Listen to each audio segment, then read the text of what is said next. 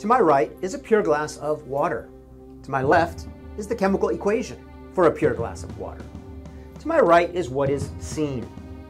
To my left is what is in the unseen.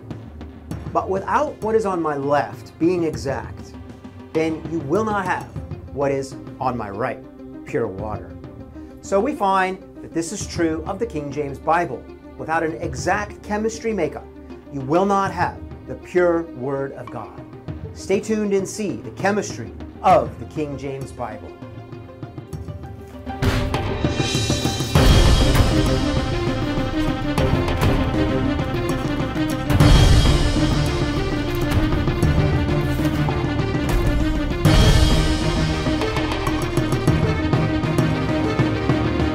Program is brought to you by Spirit and Truth Christian Jewelry Designs, the kingdom's largest Bible verse jewelry designer, where we believe in the Word of God. Log on to kingdomware.com. Welcome to another episode of Above God's Name.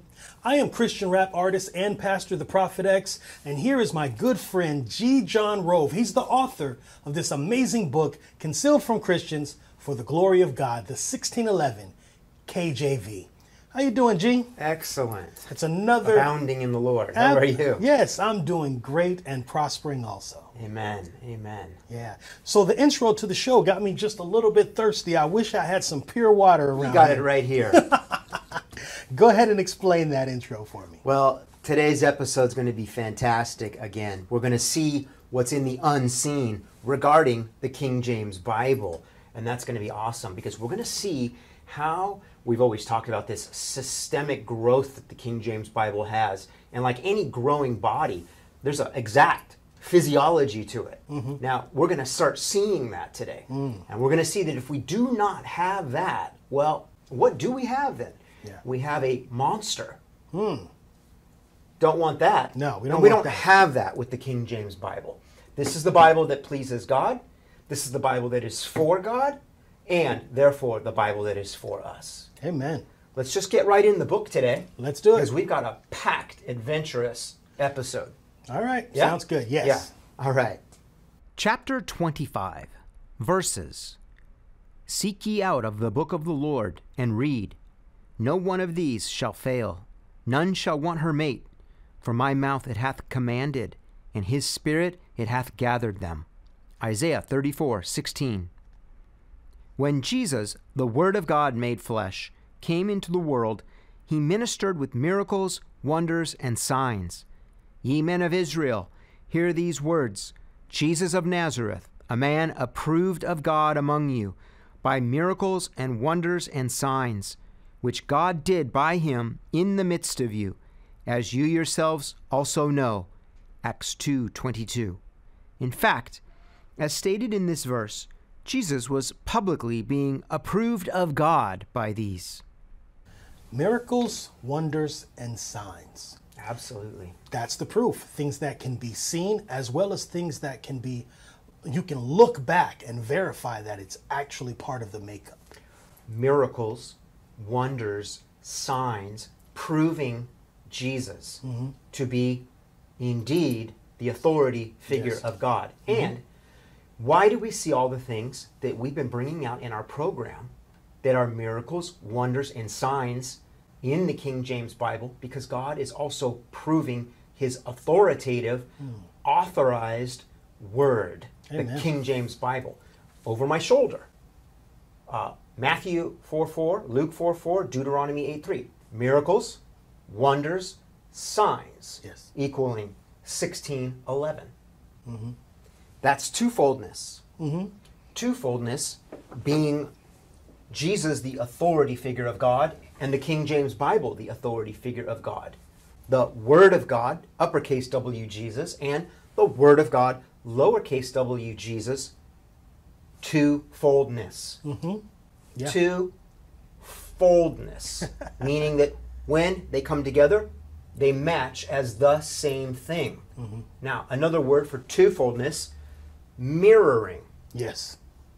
And we're going to see a lot of that today. How God, in all of his works, he mirrors, mm-hmm. he twofolds. I remember us talking about the, that in one of our previous episodes and bringing out a lot of revelation about how God does that. I'm excited to see some more. We're going to start with some flashbacks, and then we're going to just transition right into some new things, starting here. This is from a previous episode. Uh, gene expression is mirroring, and mirroring is twofoldness. You can see by the dotted line going down our model's face that obviously we have a left side, right side paradigm, and that those match. They mirror, they twofold. This is the work of the Creator. This is His design uh, insignia that you are looking at. Now, we see it down here in twins, which is also a form of mirroring. Because lo and behold, the one matches the other, as if we're looking at the same girl in a mirror. Amen? Amen. Amen. Now, let's look at this next one, and let's see that as the Bible is a body of literature, even a living body, a living word, so it, even with the ribbon placed by God, shows us this same manifold design uh, detail that the Creator loves a mirroring effect. The living word's body is a mirroring nature. Now, we're going to look at Acts 2:22, which was in the paragraph we just read. Ye men of Israel, hear these words: Jesus of Nazareth, a man approved of God among you by miracles and wonders and signs, which God did by him in the midst of you, as ye yourselves also know. Acts 2:22. This verse has a mate. We'll call this mate number 1. When we go to Hebrews 2 4, we're seeing the mate.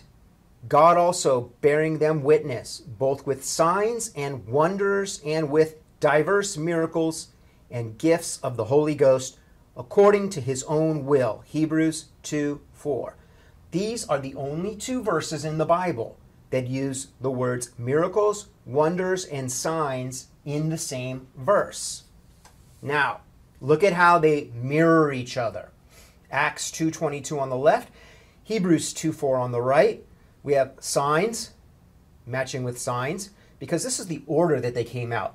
Uh, miracles, wonders, signs is the order that they rolled out in Acts 2:22. Signs, wonders, miracles is the order in Hebrews 2:4. So signs matching signs, wonders matching wonders being in the middle position, miracles matching miracles on the outer position.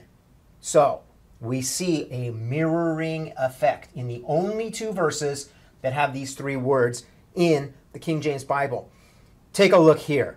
Mirroring mates, Acts 2 22 and Hebrews 2 4. Even the references uh, match with a mirroring effect. And I know you're saying, how are those mirroring? I'm glad you asked because I'm just about to show you. You should see it this way mirroring mates, Acts 2 2 2 and Hebrews 2 2 2. Because when we get 2 plus 2, it gives us the 4 of Hebrews 2 4. This is how you should see it if you're going to break down the scriptures and begin to rightly divide to see the inner workings of what God is doing. If you want to see it all put together, let's look at it this way mirroring mates, miracles, wonders, signs.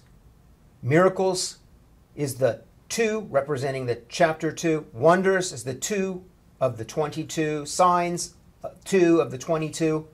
Signs, wonders, miracles And the Hebrews verse would be two, two, two. It's as, as if God has applied a two to each of the factors.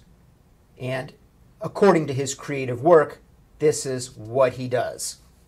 If we look at it in a chiastic form, we did an entire program on the chiasms of the Bible. We see what that looks like. Acts 2 22, the 2 goes with the miracles, 2 goes with the wonders, 2 goes with the signs. And then in the Hebrews 2, 2 plus 2, which is Hebrews 2 4, we see that it matches again. And we're seeing a complex structure. Wow, that's uh, That's amazing. Never seen it laid out quite like that.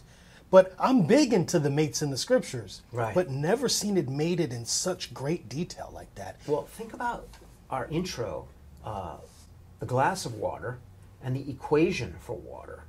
Without the one, you don't have the reality of the other, That's right. and you don't have the exactness of the other. And that's what we're going into today. That's what we're seeing. Do you have to know these things uh, to believe on God's word and to believe God finished the King James Bible? No, you No. don't. But when you believe and you see these things, you're worshiping God and marveling God. Amen. I think uh, that would be an argument that a skeptic would say, I don't need to know all that complex stuff to believe on the Word of God. And no, you don't. But it does help you to prove that this is the authentic Word of God. And we know the Scripture says, prove all things. Amen. Amen. Well, speaking of skeptics, let's go on with the two, two, two a little deeper. All right, we're going to start at the end of the Bible for our first mate. This is the very last 222 verse in the Bible, and it's uh, Revelation 22 2. In the midst of the street of it, and on either side of the river, was there the tree of life. And then the verse continues. If we look at that visually, uh, Revelation 22 2, the last 22 2 verse, notice how the two in the middle is mirroring itself to the left and the right. And if we put together visually what it might look like in the New Jerusalem, we see that in the midst of the street where the two is, and on either side of the river was there the tree of life. So we have a match. It all matches. There's a harmony according to the verse. Now let's go to this verse's mate. And that's going to be the very first 222 verse of the Bible, as in Genesis 22:2. So we looked at the last 22:2. Now we're looking at the first 22:2. And he said, Take now thy son, thine only son Isaac, whom thou lovest, and get thee into the land of Moriah, and offer him there for a burnt offering upon one of the mountains which I will tell thee of. Unless you have eyes to see, you won't see how this relates to Revelation 22 2. But when we go into the reality of this prophecy, this is the death of Jesus Christ at Calvary. Indeed, even at Mount Moriah. So let's take a look at that with this verse in mind. Here is the crucifixion that is being prophesied in the type of Isaac on Mount Moriah, Genesis 22 2, the first 22 2 verse. Notice 2 2 2. Just like in Revelation 22 2, on each side of the river was the tree of life. So we see a thief to the left and a thief to the right. So we have a 2 in the middle, a 2 on the left, a 2 on the right. And then in the midst of the street of it, and on either side of the river, was there the tree of life. Let's look at this close up of Jesus himself on the cross. Notice in the middle, river of water from his pierced side. Just like in Revelation 22 2, in the midst of the street was the river of life. So we see that Jesus is the reality of that road, he is the way. And then on either side of the pierced side of Jesus, above or below, we are looking at the tree of life. He is the tree of life on either side of the river flowing out of his side. Man, amazing. And sometimes you you see stuff like when I sit and I study this with you, I see things for the first time. Having read that Genesis 2:22 a hundred times, never did I ever think that it was pointing to what you just showed there. It's another chiasm. It's part of the chiasm because it's book ends. Hmm. You have Genesis 22 2, you have uh, Revelation 22 2, mm-hmm. the first and the last, and they're both testifying to Jesus in the exact same way with the water in the midst, the mm. living water, Yeah. and the tree of life on either side. Yeah. So these are the things that make up the Bible by the design of the designer, and they mirror and they are twofoldness. Okay, uh, Genesis two twenty two, it's there. Genesis 22, 22, it's there. Uh, if we were to look at Genesis two twenty two, you would see it there also. Uh, Exodus two twenty two, it's actually there too. Wow. Now, you guys can all look that up in your own time, and you may or may not see what I'm talking about. Just like Genesis 22 2 is very uh, difficult to discern unless you can see deeply into the working of the Spirit. Yeah. But look those up in your own time, viewer, and see if you can figure it out. And you want to know what's really interesting? What's that? Is uh, when I was putting all this together, uh, all this 222, I stumbled across something that the Lord showed me that I wasn't even searching for, but somehow it popped up before me. I was born August 9th in 1968, and it was showing me that August 9th of 1968, the day I was born, was the 222nd day of 1968. Yeah. I wasn't even looking for it. Yeah. It came up in a search somehow, some way. Hmm. And doing all this 22, 2, 2, 2, 2 stuff, I was Yeah. like, Lord, I know you're showing me that hmm. because you're just showing me how true all of this is, that you're working by your Spirit, Amen. including the day that you had me to part the waters and enter mm. into this world Wow. to witness of the tree of life. Amen. Amen. Let's move on to the next. God has likewise been ministering miracles, wonders, and signs in the King James Bible to the world in real life and in real time for over 400 years. These miracles, signs, and wonders are God's public approval to all men as to which Bible is sourced and finished of Him. We have been seeing many of these miracles, wonders, and signs, and they are literally unending beyond what will be shared in this book. Surely, at the last day, God will be making his boast to the world of unbelievers by his Son and by his Word, the Bible.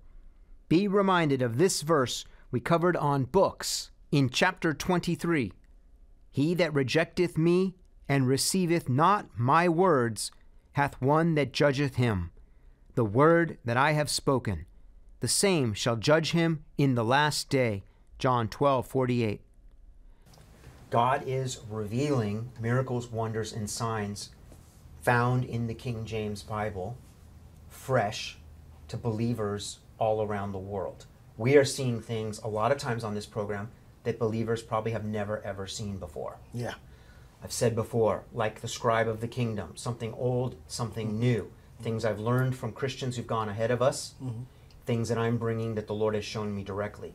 And a lot of times we refer to the cover of the book because it's such a profound miracle. Mm-hmm. Let's look at something unique about that. Notice in the Luke 4 3 episode, where Jesus was being tempted in the wilderness, Satan made a request for a miracle, wonder, and sign.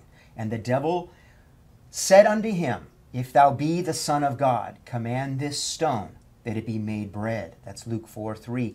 And in the very next verse, notice, request denied for a miracle, wonder, sign.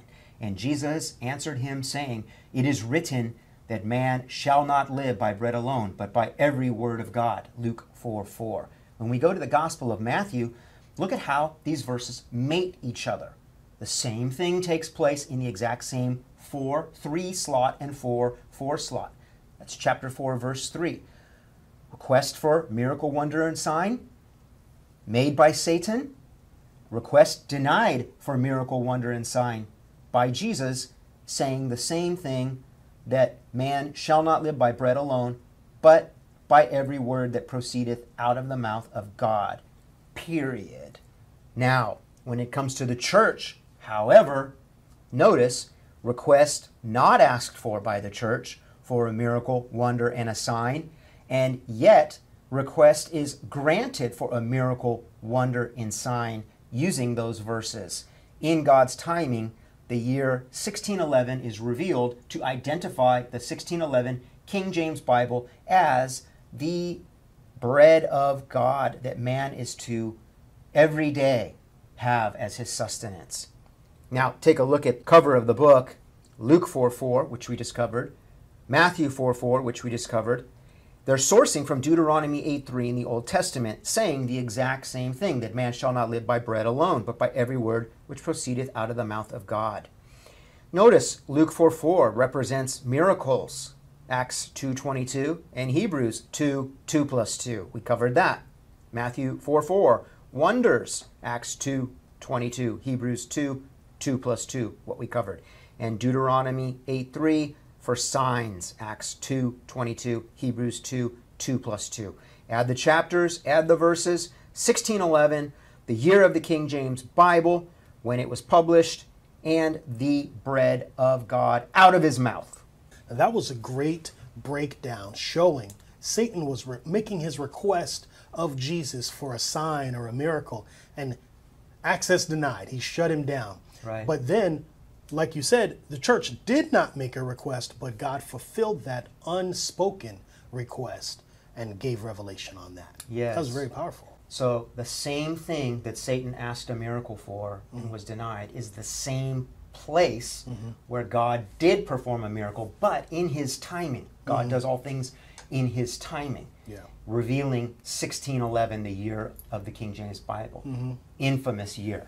Yeah. Infamous year. And you know, Jesus does this a lot because Satan, uh, if you think of Isaiah chapter 14, the five I am, uh, I will five I will statements, yeah. right? So the things that he wants to be like the Most High, denied. But they're being given to the church because the church will be glorified with the body and soul and spirit life of the divine nature in resurrection. Denied, granted. Yeah. We see it a lot in the scriptures. John uh, 7, 5 through 10. If you go look at that real quick, his brothers were saying, Go up to the feast in Jerusalem. And Jesus denied their timing, didn't Yeah, he? that's right. But then after, He he, went went, in his timing. Yeah. So we see the miracle on the cover of this book is about God's timing, the release of this miracle. Yes. These miracles in the King James Bible are fresh, they're coming out all the time in God's timing. Yeah. Amen. Amen. Uh, let's go and take a look at uh, something that's going to prepare us for the next section of what we're going to look at. Okay, viewer, keep in mind that we are looking into the chemistry of the finished Bible. And for that, we're going to need to understand what simple gematria is. Uh, gematria is numeric value assigned to letters. God has employed gematria in the Bible from the beginning. We have an aleph here, which is the Hebrew letter, uh, first letter of the alphabet. Because it's the first letter, it has the numeric value of 1. Under it is alpha in the Greek. Alpha for the New Testament also, uh, it was the employment of gematria because both Hebrew Old Testament and Greek New Testament did not have numbers. I repeat, did not have numbers. God employed gematria to speak numbers by the addition of the numeric value of letters. Ultimately, Aleph, Alpha, is where we get our A from. That's the English letter A, which would obviously in simple gematria have also the value of 1. So B would have the numeric value of 2, C would have the numeric value of 3, D would be 4, etc. And in this way, we get numeric values assigned to words. This is what God has always done, and it's no different in the finished Bible. So let's take a look at what we've just been covering, and let's look at the simple English gematria. Luke 4 4, man shall not live by bread alone, but by every word which proceedeth out of the mouth of God, which is repeated in Matthew 4 4, which is repeated in Deuteronomy 8 3. Those are the three scriptures for those verses.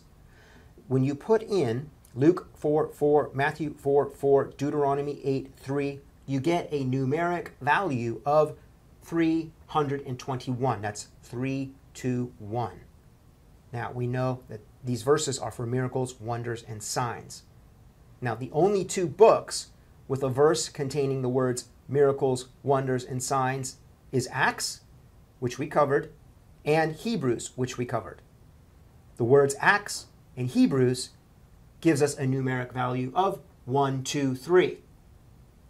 So, we see that we have a mirror going on here, mating these scriptures together. So, Luke 4 4, Matthew 4 4, Deuteronomy 8 3, equaling 3, 2, 1. And the only verses in the Bible are from Acts and Hebrews that have shared in a single verse miracles, wonders, signs. Acts, Hebrews has a numeric value of 1, 2, 3. And we see how they indeed are mirroring each other 3, 2, 1, 1, 2, 3. When we take the 3, the 2, and the 1, and we add it up, we have a 6. When we take the 1, the 2, and the 3, we add it up, we have a 6. That gives us 66, 6 and a 6 in the mirroring. That roots us into the 66 books of the Bible, showing how all of this has a systemic path leading to itself intravenously. Now, what you did right there is very foreign for a lot of Christians because they start is. thinking that's you're doing some kind of black magic or voodoo or something. And the truth is, you're just doing what the Bible says. You're counting to know to, to figure out the wisdom of it. And when you Right. when you got that Acts and Hebrews and you're adding the numerical value for all of those letters and it produces the 123, we can clearly see the 123 is a mirror image of the 321. It's almost like they're folded like this and you just opened up and saw the wisdom in between Yeah, them. a miracle sign and a wonder. Yeah. What we see on the cover Yeah. with its references added up. Mm-hmm. You have the numeric value of 321. Hmm. And then the only books in the Bible that have Hebrews uh, and Acts as wonders, uh, miracles, wonders, signs, those are the only two books that. Yeah. that verse appears in. You have a one, two, three. And it is deep, and you don't have to know it. Right. But you get to know it. Hmm. Uh, and you know, maybe I'm just one of those nerds, right?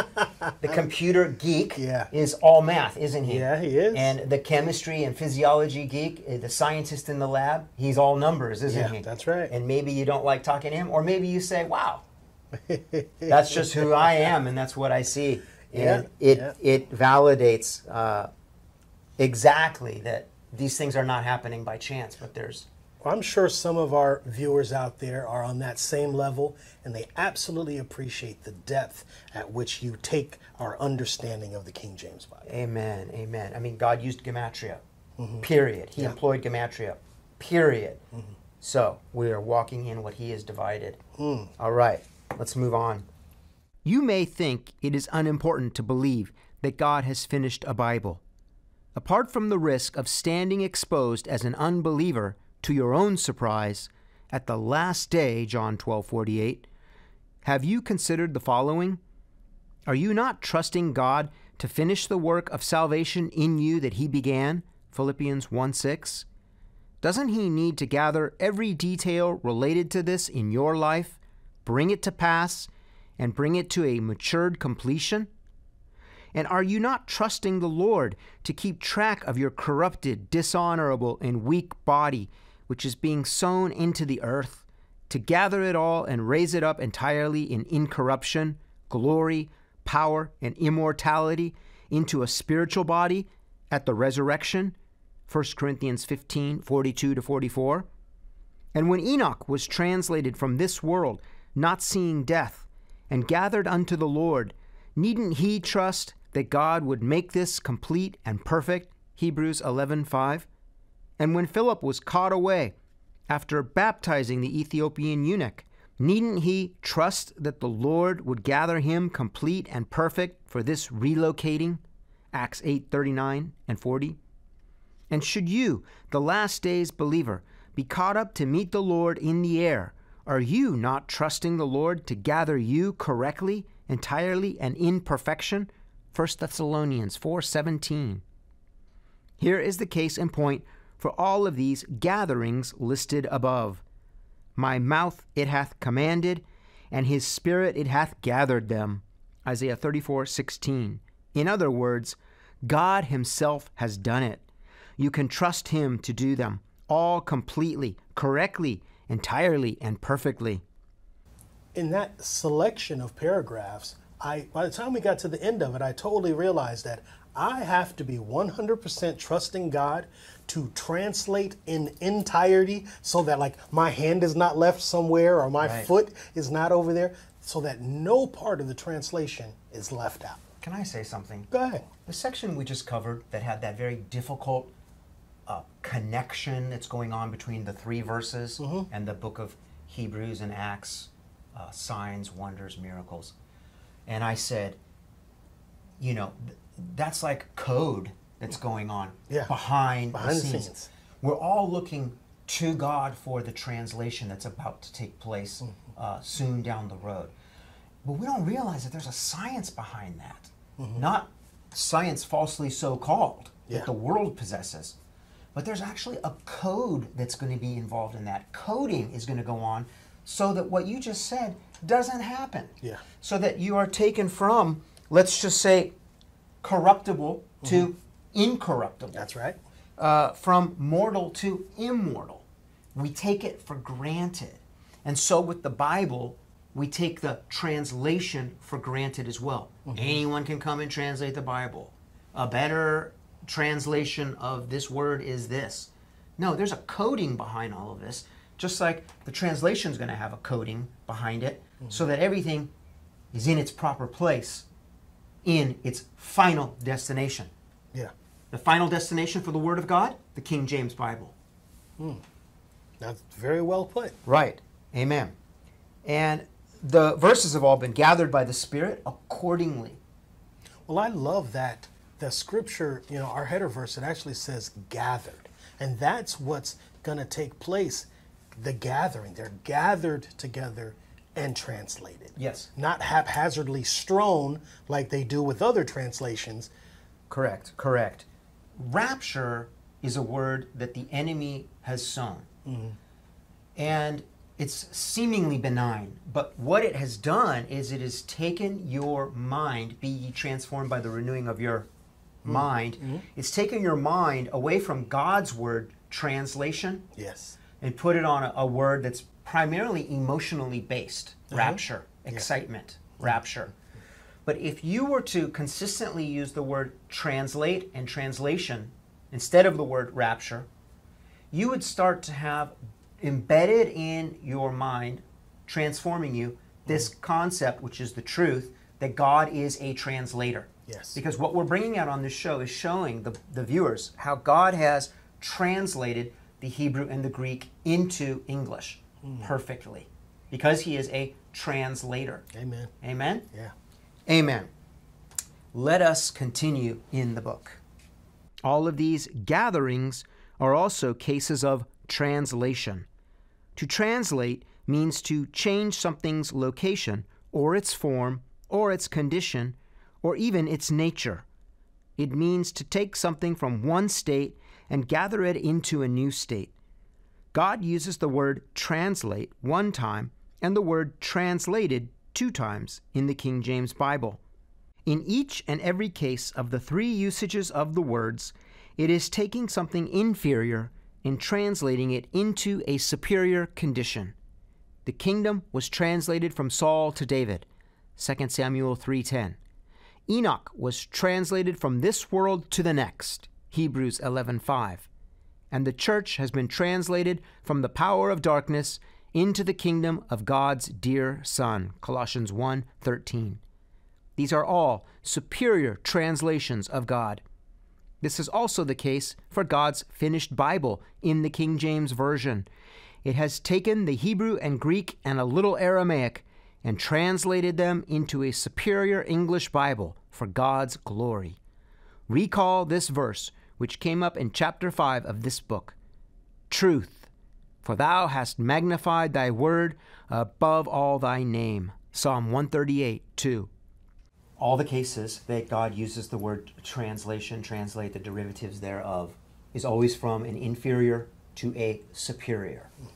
And it's always from one kingdom into another kingdom, or one nation into another nation.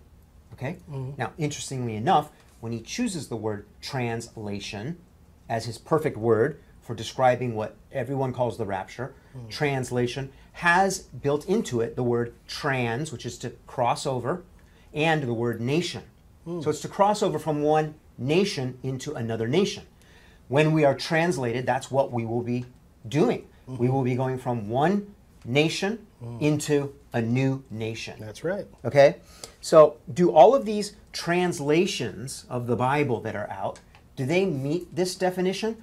Are they going from an earthly status to a heavenly status in their translation? Or are they just the work of men? Hmm. They're wood, hay, and stubble. They're not going from one nation to another nation. Yeah. But with the King James Bible, God has taken the word and, in translating it, exalted it to the quality and caliber of heaven's issue, issued from heaven. Amen. So, as, as you're saying that about uh, the trance and the nation being in there, I, I came to my mind that they're not translations, they're revisions, which means a different vision. Right. And that's what they're sowing, that's what they're giving the world a different vision. Correct. We often say Antichrist. They're Antichrist. Mm. Yeah, they are. they are. And you know what? They are a sign of the last days because what's going to happen in the last days? Hmm. Nation shall rise against nation. Yeah, And right. we see that in the plethora of all of these false translations, which really are books, not Mm-hmm. Books. Bibles. I don't even call them Bibles. Amen. They're books, Yeah. and they're of the nation of the world, and they're going against the nation of heaven That's with right. the King James Bible. Amen. We have thus seen that the books of the Bible have all been selected by God.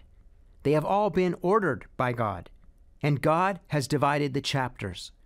The books, the order, and the chapters all have to do with His gathering, to which He says, No one of these shall fail, none shall want her mate. Isaiah 34 16. We must know that this gathering of the whole is nothing without its parts. So we rhetorically ask Are all the verses of the Bible gathered and placed and numbered by God as well? To answer no here is to discredit the Word of God, which shows otherwise on every page. It also means you believe God has departed the raising of His Word, the Bible, at this incomplete place, and the glory of these miracles, wonders, and signs belong to another. We're at that challenging moment again in each one of our, uh, in each one of these most recent chapters of the book, where the viewer has to be challenged to answer that question: Do you think God is still in it, or did He depart from the process at this point? Right. It's like the game Hangman. Yeah, yeah, So, that's really good. and people who think that he's departed from the scene, Mm-hmm. and yet you say the scriptures are inerrant, the scriptures are inspired, Mm. you are a walking, talking contradiction. Yeah, We are not a walking, talking contradiction. We are a walking, talking testimony Yes. of the Word of God. Yeah. Because we will show you the Bible that God has finished. Amen. We will show you the perfect Bible. You must shun any such idea that the verses in the Bible just happen to be where they are, as if through wandering they have just ended up being there. Cain was a wanderer. When he went out from the presence of the Lord, he dwelt in the land of Nod, on the east of Eden, Genesis 4:16. The name Nod means to wander. Cain's father, Satan, was also a wanderer. He goes to and fro and up and down in the earth. Job 2 2. In fact, all those who follow Satan, God calls wanderers in the King James Bible. Jude 13. These verses have not wandered into their positions, and anyone who thinks they are are like the wandering stars themselves of Jude 13. Let's look at that whole section of Jude and let's apply it to this topic of the pure Word of God. woe unto them, for they have gone in the way of Cain. Condemning your KJV only brother who is more righteous than you for believing God in the matter of his pure Word. And ran greedily after the era of Balaam for reward, Bible publishers, translators for hire, and perished in the gainsaying of Core. those who have rebelled against the 400 year standard of God's authorized version. These are spots in your feasts of charity, when they feast with you, feeding themselves without fear. spotting the church with many translations, eating from any of them they feel, Clouds they are without water, telling you the Bible is inerrant, inspired, but possessing no such Bible, carried about of winds, going from translation to translation to suit themselves, trees whose fruit withereth, without fruit, twice dead, plucked up by the roots. America's weakest ever generation of Christians accompanying man made translations, Raging waves of the sea foaming out of their own shame. famous persons in the church denouncing the authority of the King James Bible. Wandering stars, to whom is reserved the blackness of darkness forever. Famous persons in the church wandering from the authority of the King James Bible. And Enoch also, the seventh from Adam, prophesied of these, saying, Behold, the Lord cometh with ten thousands of his saints. There's Enoch we talked about. Enoch was translated correctly That's a rebuke to all who do not trust in God to translate the Word of God perfectly. to execute judgment upon all, and to convince all that are ungodly among them of all their ungodly deeds which they have ungodly committed, and of all their hard speeches which ungodly sinners have spoken against him. Think of all the ungodly and hard speech spoken of Jesus, the Word of God. Apply that to the King James Bible, which people speak against as well. These are murmurers, complainers, walking after their own lust, and their mouth speaketh great swelling words, having men's persons in admiration because of advantage. Boasting words like, God's Word is better translated like this, for scholarly admiration. But, beloved, remember ye the words which were spoken before of the apostles of our Lord Jesus Christ, how that they told you there should be mockers in the last time, who should walk after their own ungodly lusts. Mocking the KJV, God finished, is everywhere. This is why the world is in the judgment it is today. The church has rejected the Word of God, the King James Bible. I have said this from the beginning of our program before we entered any of this madness that we're experiencing in the world today. Hmm. Way before. I said the reason that the world will be judged is because the church has cast out the King James Bible. That's right. Did I not say that? You said that. And you are seeing the fruit of it today in your social distancing, your masks, your pandemic, mm-hmm. your contact tracing, your coin shortage, Yeah. your money grab that's going on, and woe for all of the woes that are ahead of us in the fall. So, get back to the King James Bible immediately. Absolutely. We're helping you to do that. we are mated to the King James Bible. And if you're mated to anything else, you're mated to the wrong thing. Let's keep moving into the next paragraph. No, God has meticulously placed all the verses in the mature King James Bible and done so as for each to have a mate.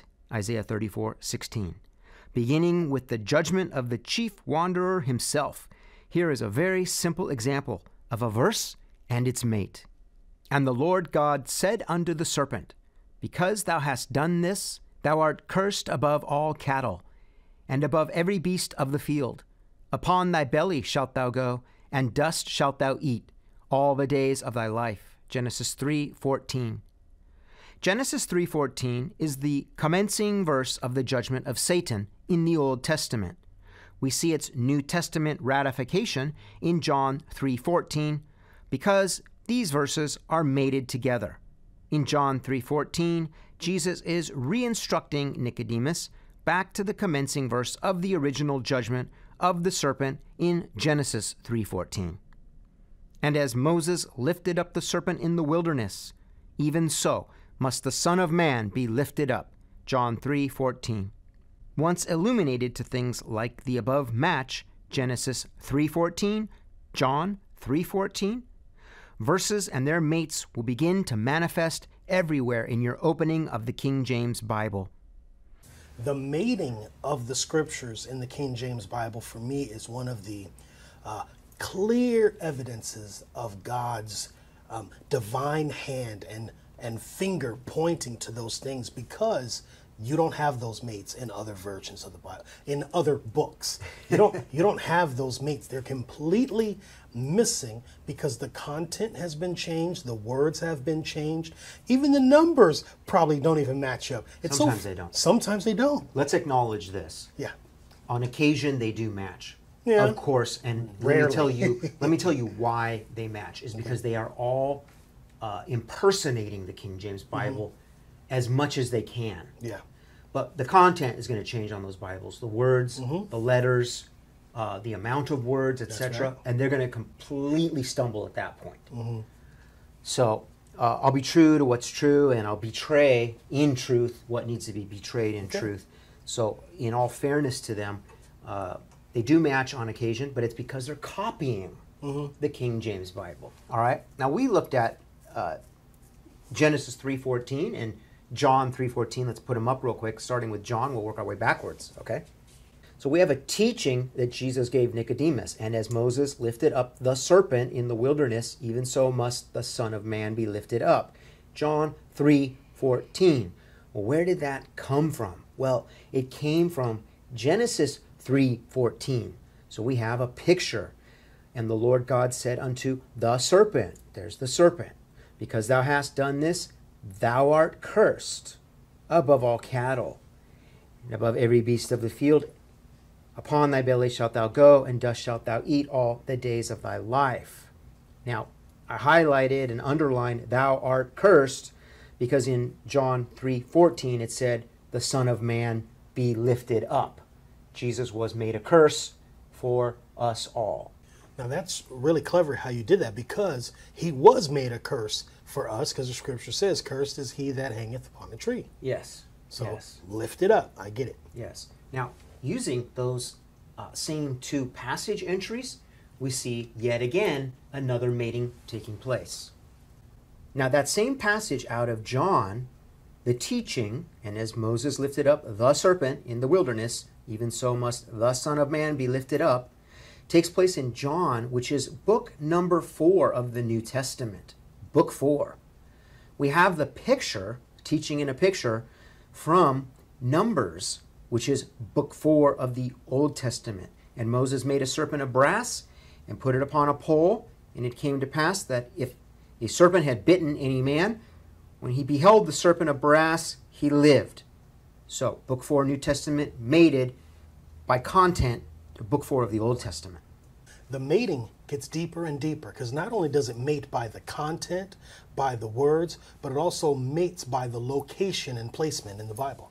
Yeah, that's really the seal mm. showing you that they belong together.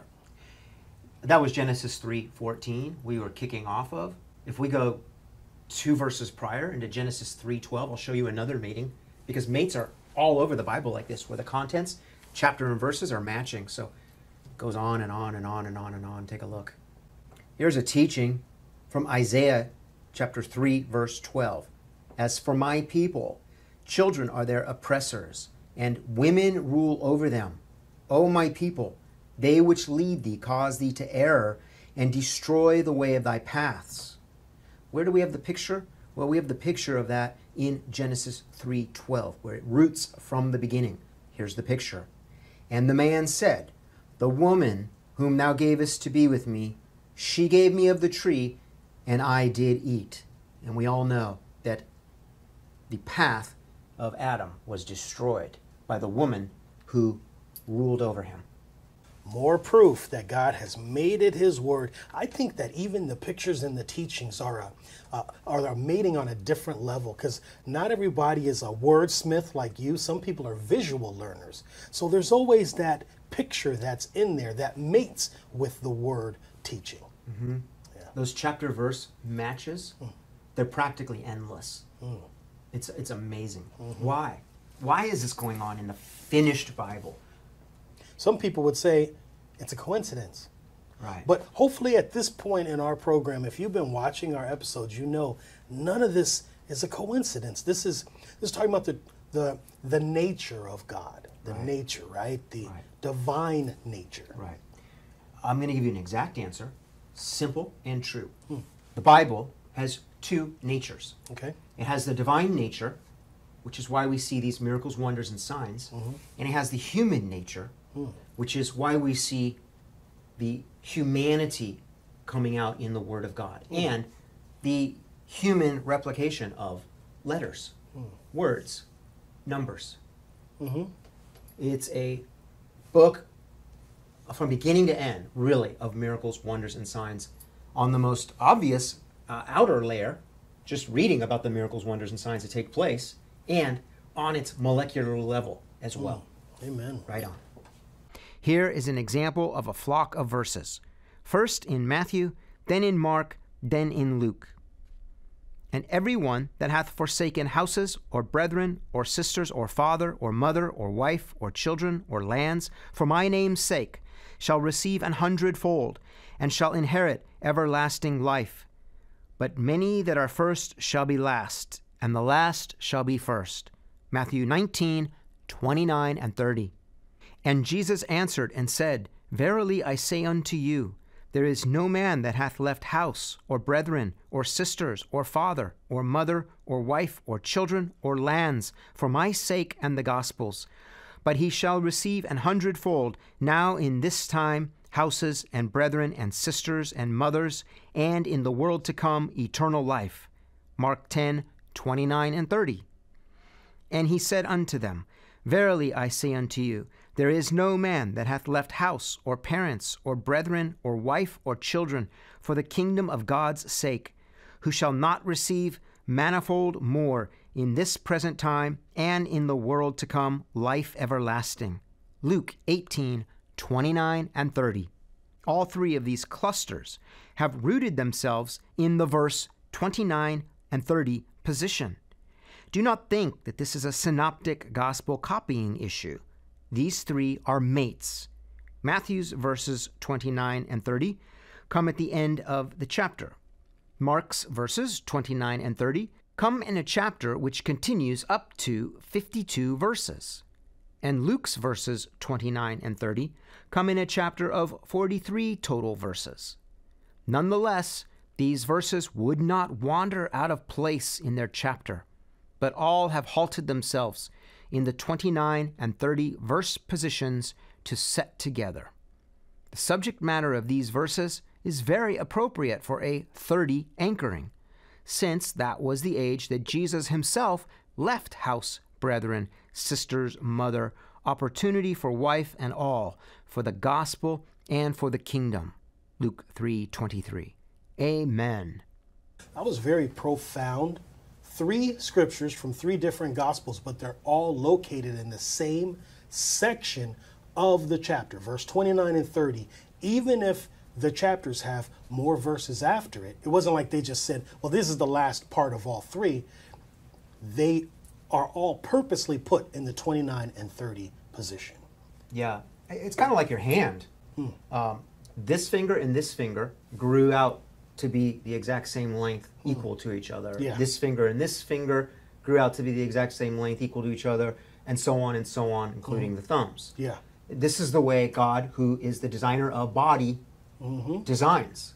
So we are seeing God's design. That's what we're seeing. Amen. Okay, let's look at it. The calling of Jesus. Leave everything for Jesus. Matthew's account, chapter 19, ending in verse 29 and 30. That's where it lodges. Leave everything for Jesus. Mark's account, chapter 10, verse 29 and 30. And leave everything for Jesus. Luke's account, chapter 18, verse 29 and 30. And according to the Gospels, Jesus left everything for the Father at age 30. They all match. I can just hear Jesus in the days of his flesh. When I turn verse 30, I, I mean age 30, I will be following after the Father. I can just imagine him saying that. That's great. These verses are all set in the King James Bible like diamonds in their place, hmm. in their proper setting, Yeah. just gripped just right. If you do not believe that these verses were set by God in the King James Bible like diamonds, consider the following example from the New Testament again. Knowing this, that our old man is crucified with him, that the body of sin might be destroyed, that henceforth we should not serve sin. Romans 6 6. We have nailed it down before that six is the number of man, as man was created on the sixth day. The word man in this verse is the sixth word of the sixth verse of the sixth chapter of the sixth book of the New Testament in the King James Bible. This too is mating. Wow, I got to see this one. This one I got to see. That was that was amazing. The sixth word of the sixth this of the show it to me. Man is represented by the number six. Of course, he was created on the sixth day. Man is word number six in verse number six of chapter number six in the New Testament book number six, which is Romans 6 6. Wow. Now that Seeing it like that, all the that's amazing. That's amazing. God is telling you, and, and people think there's no Bible that He's finished. Yeah. Entire chapters can be mated as well. Going back into the Old Testament, let's look at Psalm 100, verse 3, which is a very famous scripture. Know ye that the Lord, He is God. It is He that hath made us, and not we ourselves. We are His people, and the sheep of His pasture. Psalm 100, verse 3. Psalm 100 has a total verse count of 1 through 5, with this famous sheep scripture being in verse 3. These specifics mate it to the most famous 100 sheep verse in the New Testament, which begins in Luke 15 and verse 3, where Jesus tells the parable of the lost sheep. And he spake this parable unto them, saying, What man among you having an hundred sheep, if he loses one of them? Luke 15, 3 and forward. These mates share the 100 sheep and the 1 and the 5 and the 3 for infrastructure, strength, continuity, relationship, symmetry, emphasis, value, beauty, prestige, perfection. Psalm 100, verses 1 through 5, in verse 3, mated to 100 sheep in Luke 15, verse 3. Want to see what that looks like? Yeah. Mate number one and mate number two. So in Psalm 100, 1 through 5, we can see that as a 15. We are his people and the sheep of his pasture. That's from verse 3. Mate number two, we see the relationships going on, highlighted in red. Luke 1, 5, chapter 15, that is, verse 3. They're both in the verse 3 slot. And he spake this parable unto them, saying, Which parable? It's the parable of the 100 sheep. Notice all of the mating that's going on between these two, including their addresses and content, all bound together in relationship. it's just another example that reminds me that I gotta learn to to kind of read outside the box. Also consider the numbers, consider the verse placement, consider that God has translated it exactly the way that He wants it. That's what I gotta do. The way that pleases him. Yeah. Now, I want to show a very uh, complex uh, series where this is going on from Joshua. I want to explain one thing first because the viewer may not have the knowledge uh, regarding Joshua and the fall of Jericho, which we all are, from the time we were kids, Yeah. aware of that story. Yes. But the viewer may not know that the fall of Jericho is prophecy of the fall of Babylon in Revelation. And at the same time, the being caught up or translation, which we covered earlier, of the church. I want to read one verse from Joshua chapter 6, and it is going to be in uh, verse 5. And it shall come to pass that when they make a long blast with the ram's horn, and when you hear the sound of the trumpet, now think 1 Thessalonians 4 16 and 17 That's right. all the people shall shout with a great shout. So we have the trump of God, we have the shout of the mm-hmm. archangel, mm-hmm.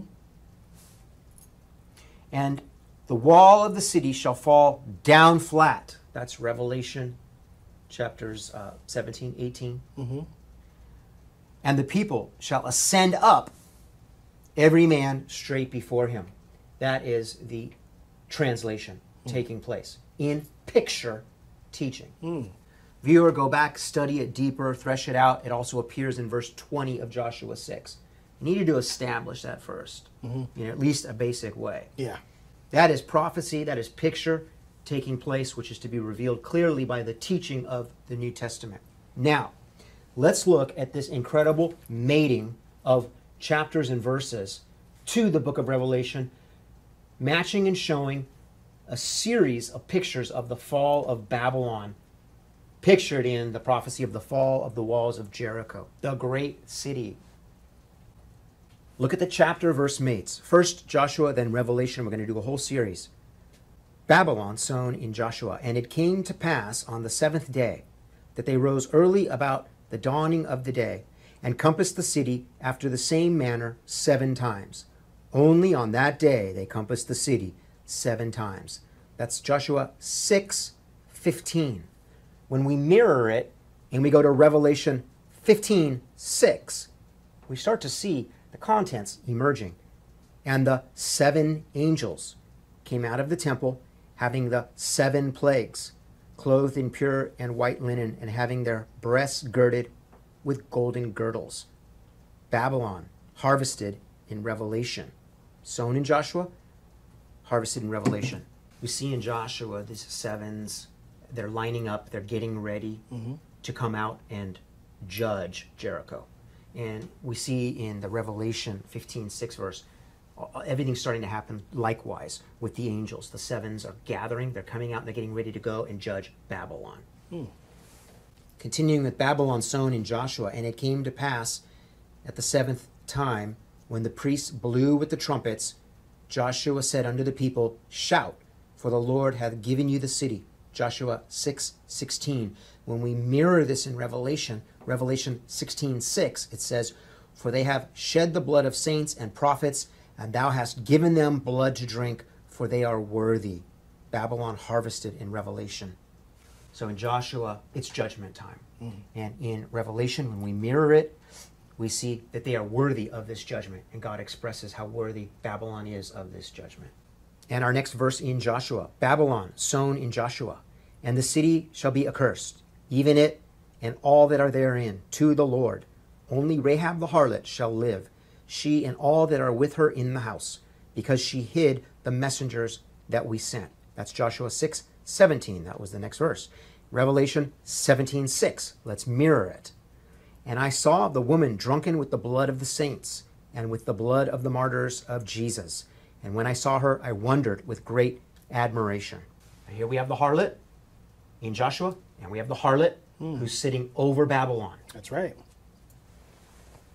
Next in Joshua, Babylon sown in Joshua, and ye in any wise keep yourselves from the accursed thing, lest ye make yourselves accursed. When ye take of the accursed thing, and make the camp of Israel a curse and trouble it. Joshua 6 18. Mirror that, Revelation 18 6. Reward her, even as she rewarded you, and double unto her double according to her works. In the cup which she hath filled, fill to her double. Babylon harvested in Revelation. So here in Joshua, we're warned of the accursed thing they need to stay away from. In Revelation, we see that the harlot, what she's holding in her hand, is the embodiment, mm. the cup full of all of the accursed that the Lord is cursing. Mm-hmm. Next in Joshua, Babylon, sown in Joshua, but all the silver and gold and vessels of brass and iron are consecrated unto the Lord. They shall come into the treasury of the Lord. Joshua 6:19, mirrored in Revelation 19:6. And I heard, as it were, the voice of a great multitude, and as the voice of many waters, and as the voice of mighty thundering, saying, Alleluia, for the Lord God omnipotent reigneth. In Joshua, we see that it all had become the Lord's. In Revelation, we see Babylon destroyed, and it becomes all the Lord's. Mm. They're mirroring mm-hmm. each other. Finally, in Babylon sown in Joshua, we see in 620, so the people shouted when the priests blew with the trumpets. And it came to pass, when the people heard the sound of the trumpet, and the people shouted with a great shout, that the wall fell down flat, so that the people went up into the city, every man straight before him, and they took the city. Joshua 6:20, mirrored in Revelation 20, verse 6. Blessed and holy is he that hath part in the first resurrection. On such the second death hath no power, but they shall be priests of God and of Christ, and shall reign with him a thousand years. Babylon harvested in Revelation. So here we see in Joshua, the people went up, every man straight before him. And our Revelation counterpart, blessed and holy is he that hath part in the first resurrection. Mm-hmm. That is 1 Thessalonians 4 16 and 17. when right. the dead in Christ mm-hmm. and we which remain alive are resurrected, that is the first resurrection. Mm-hmm. mirror. Yeah, I see it. Mirror. They all mirror. That's amazing. All those verses in a row mirroring their content in the book of Revelation. Who did that? Who did that? I ask. God. God's field of vision is not limited like ours. Man has straightforward vision with a very small amount of peripheral vision. When we read the Bible, we only see one single word of one single verse in focus at a time. That verse is surrounded by other verses, in a chapter that is surrounded by other chapters, that is in a book surrounded by other books, making up the Bible. God's vision is everywhere. It sees the entire Bible in dimensional focus all at once. It must be perfect in His sight, from every angle and from every perspective, and it must glorify Him by adorning the doctrine of God at every depth of examination. When we're talking about God seeing in all dimensions at once, that's part of the uh, the the majesty of God and and the incompleteness of man. We're only in this one dimension that we're living in. Everything is physical, right? And so eventually we graduate to where it becomes mental. We're thinking about more things, and then the highest level being spiritual. But God, knowing the end from the very beginning, is seeing all of this at once. Mm-hmm. It's amazing. We said that the Bible has two natures a mm-hmm. divine nature and a human nature. Yeah. Well, that's in accordance with Jesus, the Word of God, as well, because he mm. has a divine nature and a human nature. Yes. We all saw his divine nature when he performed a miracle at times like that. But what about when he was just at rest? Who saw his divine nature? Well, God, the Father, was always seeing his divine nature. Mm. And when it comes to the divine nature of the Bible, with all of these miraculous uh, signs and wonderful things that it's doing, we may not see them, but God is always seeing them, even when they're at rest in our presence. In other words, we don't know about them. Mm-hmm. They're at rest in our presence. He sees them. The Bible is first and foremost for God. This is why not any Bible is sufficient for Him. It mm-hmm. has to be His nature that He is seeing because He is pleased only with His nature, that's the divine nature, and a perfect human nature. Hmm. Amen? Amen. Right. Good. Let's look at Titus 2:10 real quick.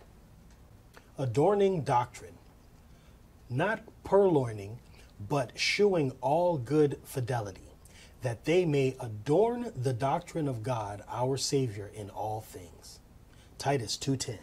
So as that verse states, God is in everything that he does and everything that he is leading us into adorning the doctrines of God.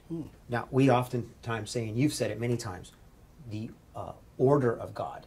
Why is the why are the books gathered mm-hmm. uh, inclusively and exclusively? Yes. Some in, some out. Yes. Why are they in the order they're in? Why are the chapters divided by him?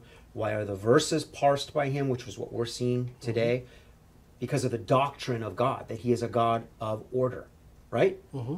So we see everywhere the doctrine of God, and we're seeing that no less in the verses than in the chapters, the books, etc.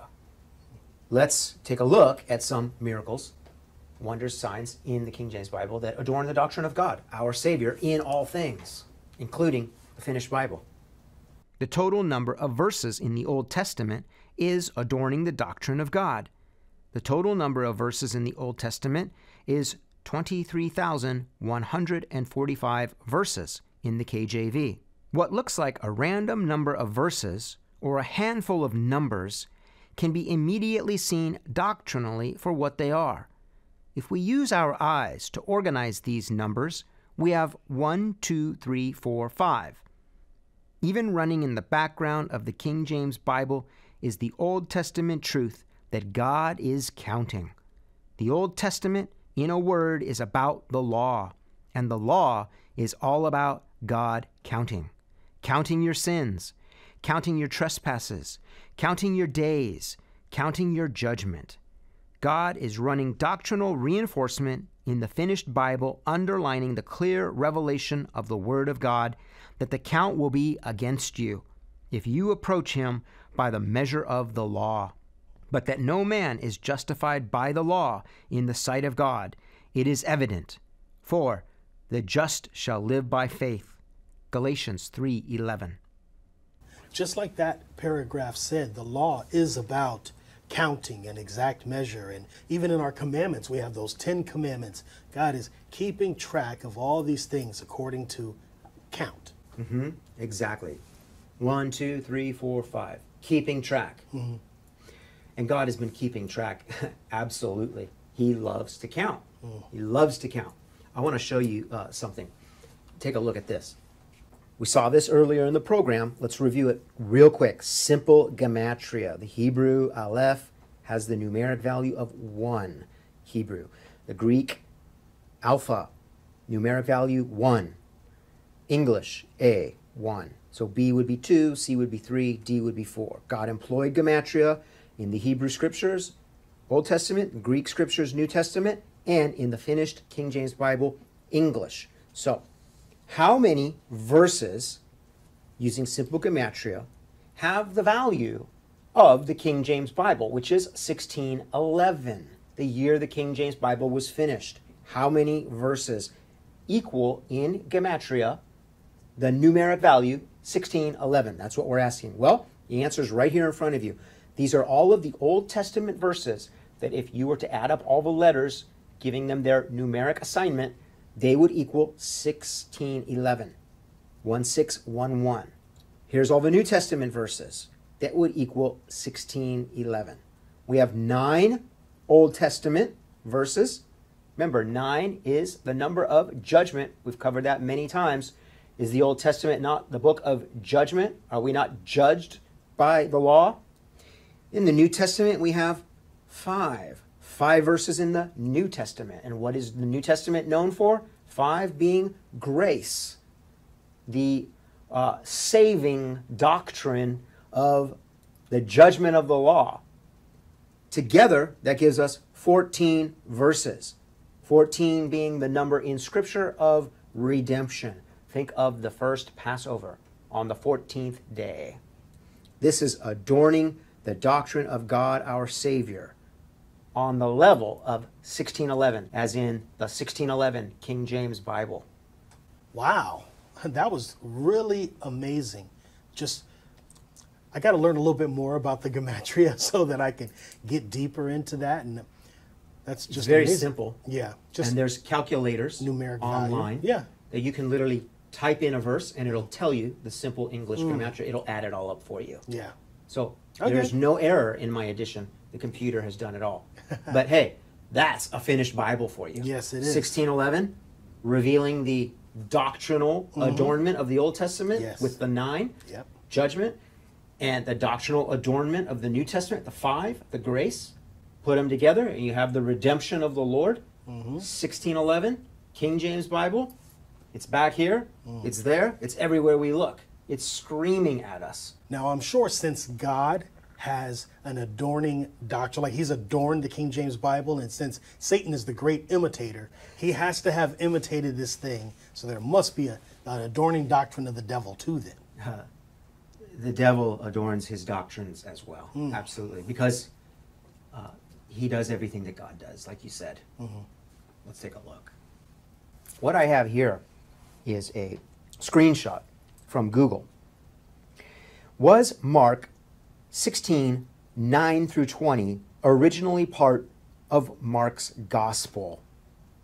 Well, this has been a long standing uh, textual critics controversy for as long as I've been alive.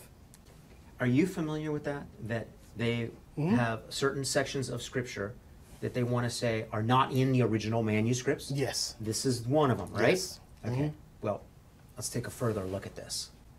Just to confirm, let's click on one of the links of the endless pages and we go to the Gospel Coalition where it says underlined uh, not a recent development. Christians have known for centuries that Mark 16, 9 through 20 might not have originally been part of Mark's gospel.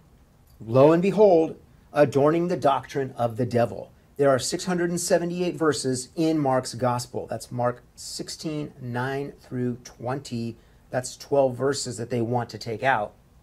when we have the 678 verses and we take out the 12 verses they want to take out, that leaves us 666 verses or the infamous 666. From God? I don't think so. That's amazing. That's an example of how man wants to do what man wants to do with God's word and changing into man's word, six being the number of man.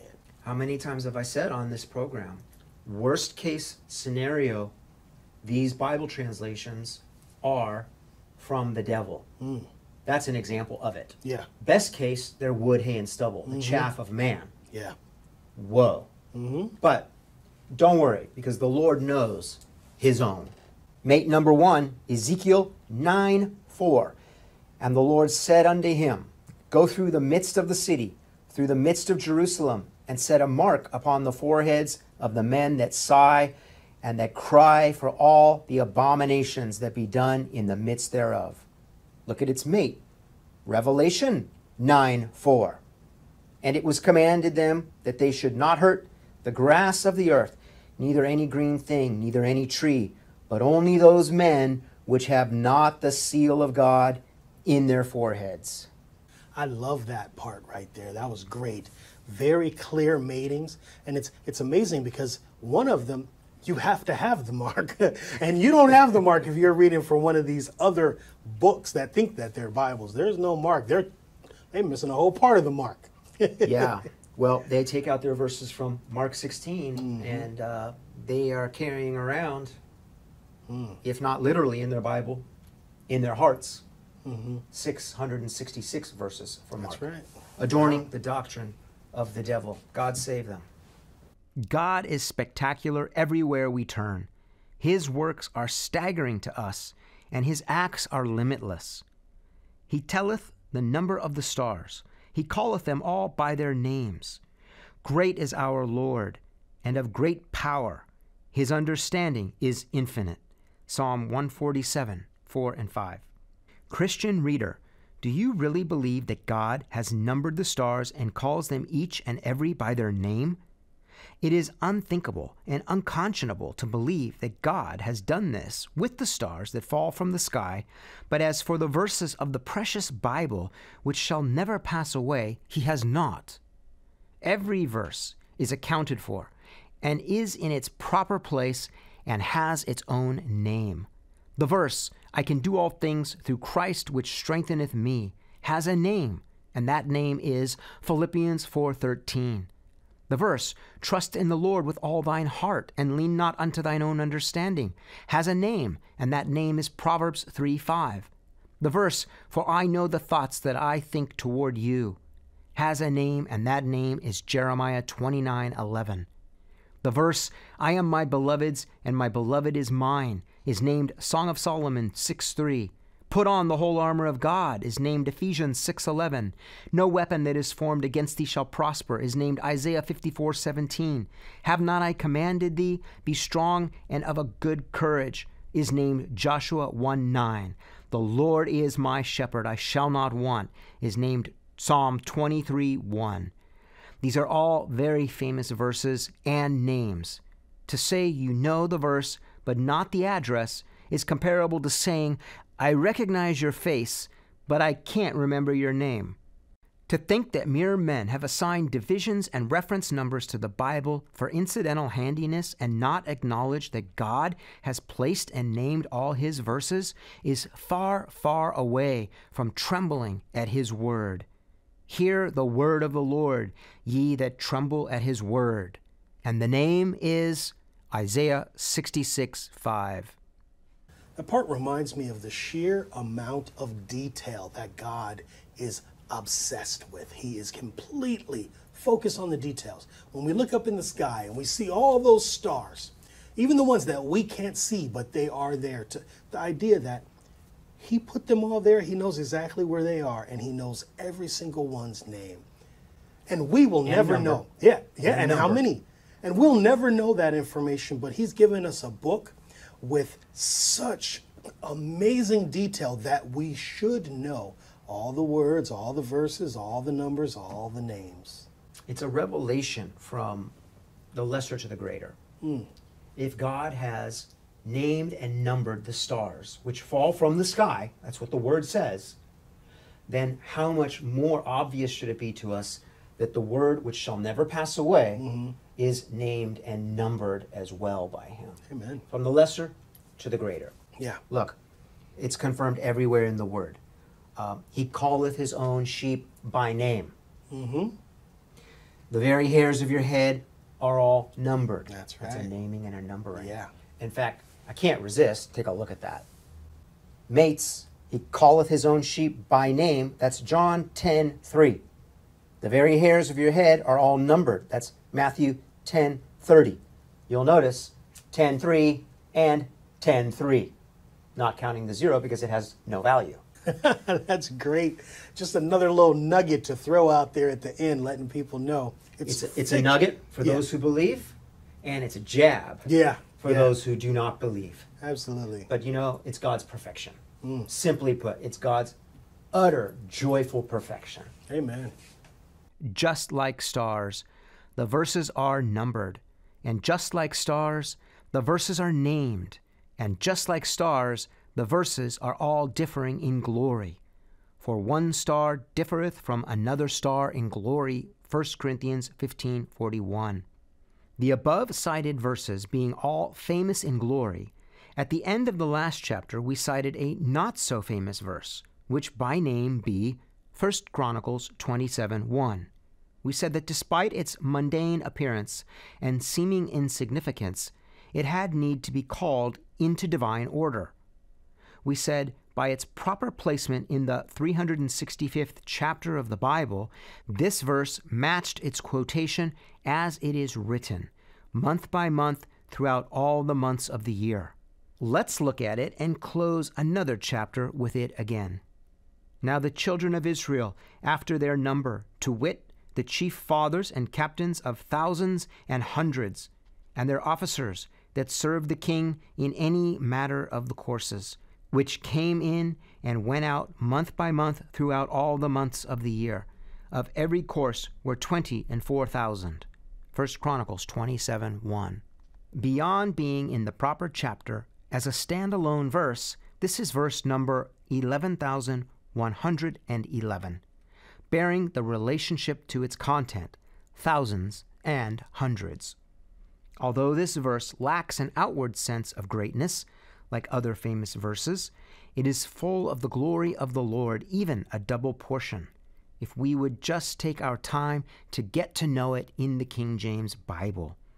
In this way, the body of the Bible is again exactly designed like the human body and like the body of Christ, giving higher decoration to the less striking parts for the sake of the overall balance of beauty of the whole.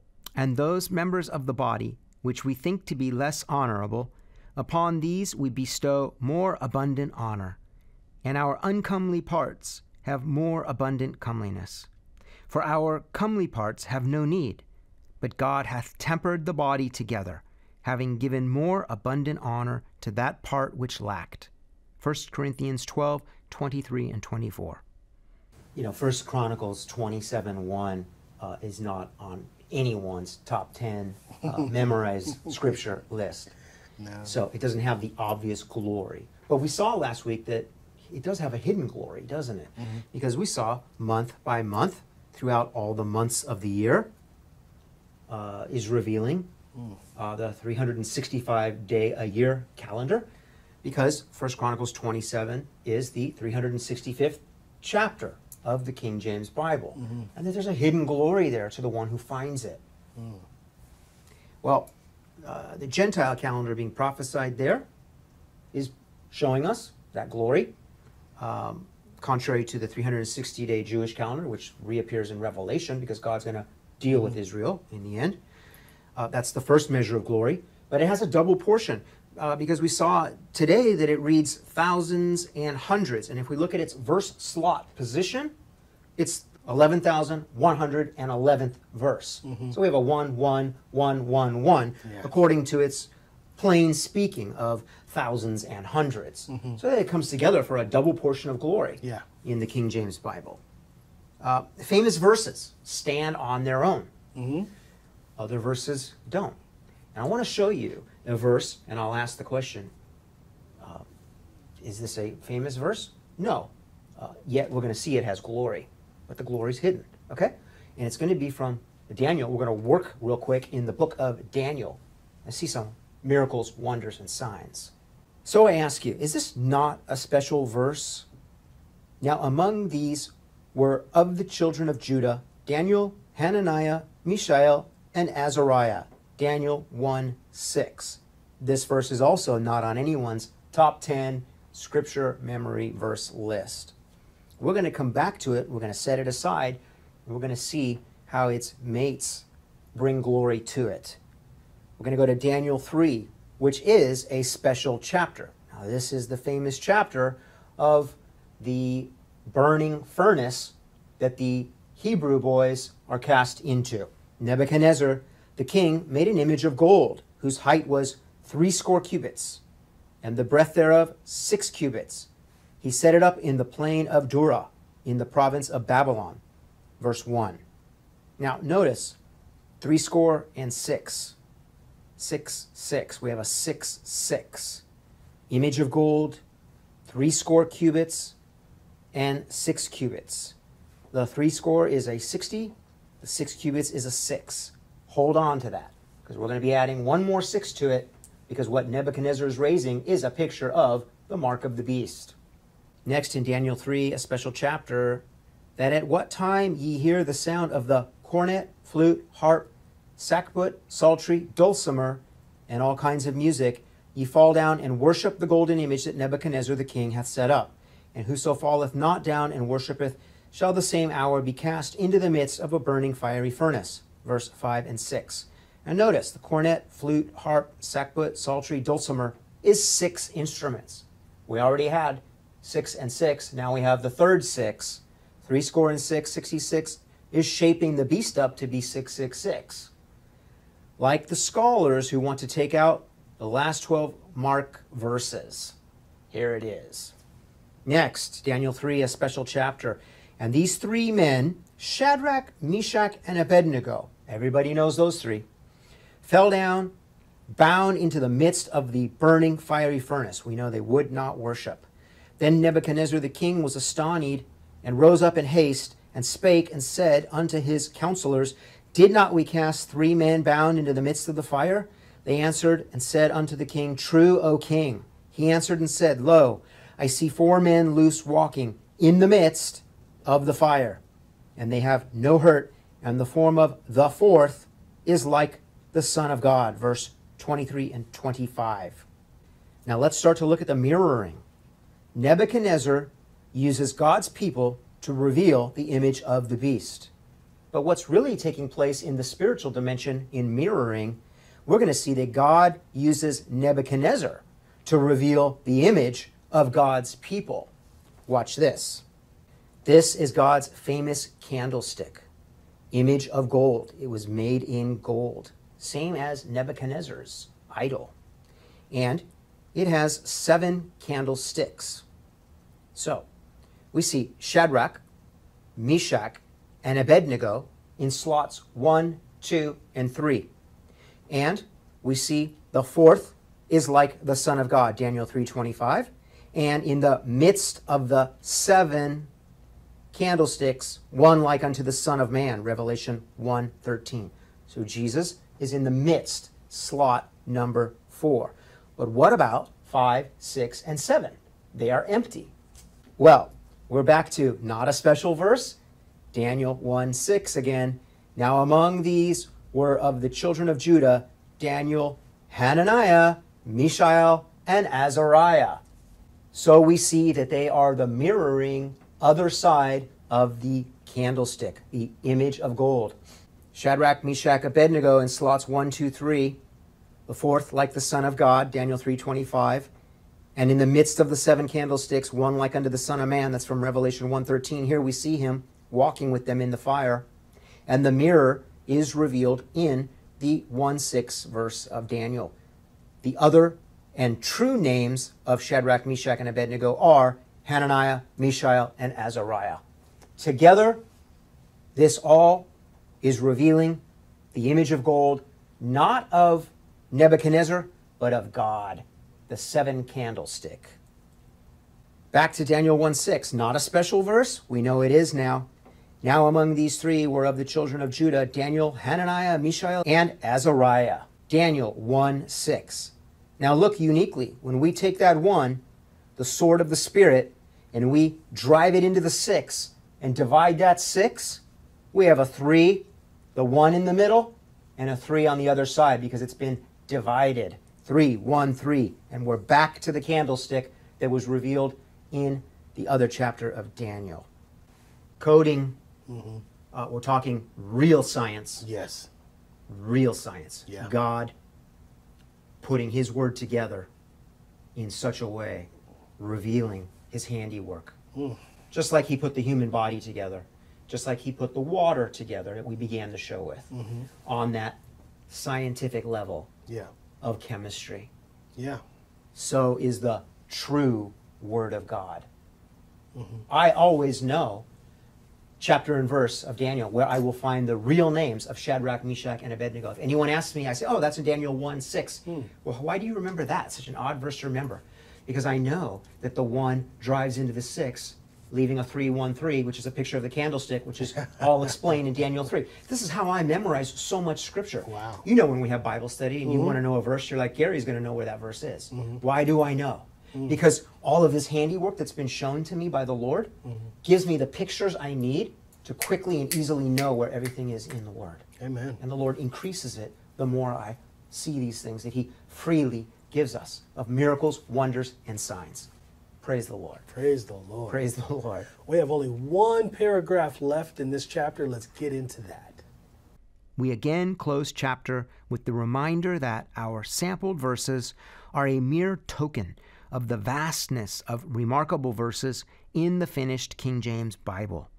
Again, the scope of this book is only to illuminate you to this truth that you may believe, God willing. Even though you keep saying these are just a small amount, we have covered so many examples, so many demonstrations of the power of God's word all throughout from cover.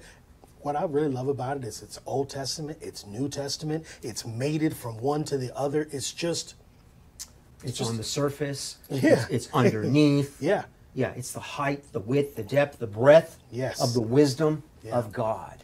When we in the beginning when we were talking about water and we had the graphic behind you of the makeup of the water and then the product of the water i so much more understand and appreciate now the makeup of the water. What what does it consist of? Because now that i'm seeing this king james bible and and the the books where they are the verses the chapters all of that i can see the makeup the consistency of the King James Bible. And consistency is a good word because it's consistent from cover to cover. It is.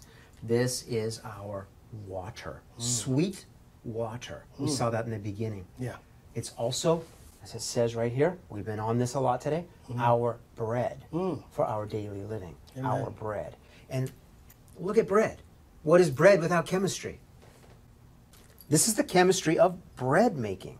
We take it for granted, just like we take the Bible for granted. But behind that bread are all kinds of chemical equations that, if they do not take place, you will not get a good tasting product. Period. All we're doing is simply acknowledging that when God brought forth His word, He did the same thing even the aroma of fresh baked bread, the smell, there are chemical equations for. The smell. The equations must be right in order to be the true bread of God, to be the living water. If you do not have the King James Bible, know it or not, you have the bread of affliction, you have the water of affliction. Yeah. That's what the scriptures tell us. That God will give them because of their lack of desire the bread of affliction and the water of affliction. Yeah. Come to the King James Bible. Absolutely. This has been an amazing episode. We have looked at the the ingredients. Like when we're talking about that bread, you get some really nasty bread if you put some nasty ingredients in it.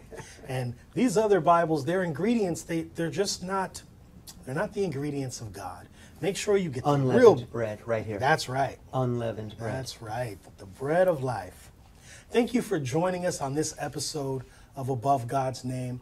I pray that it has enlightened you and that the Holy Spirit will continue to convince you with every single episode that this is the actual finished Word of God. Join us on our next episode. We come out almost every week. And uh, make sure that you share this video with both believers and non believers. Comment down below. Hit the subscribe button for our channel. Like this video. And we will see you on the next episode of Above God's Name. Pray for us.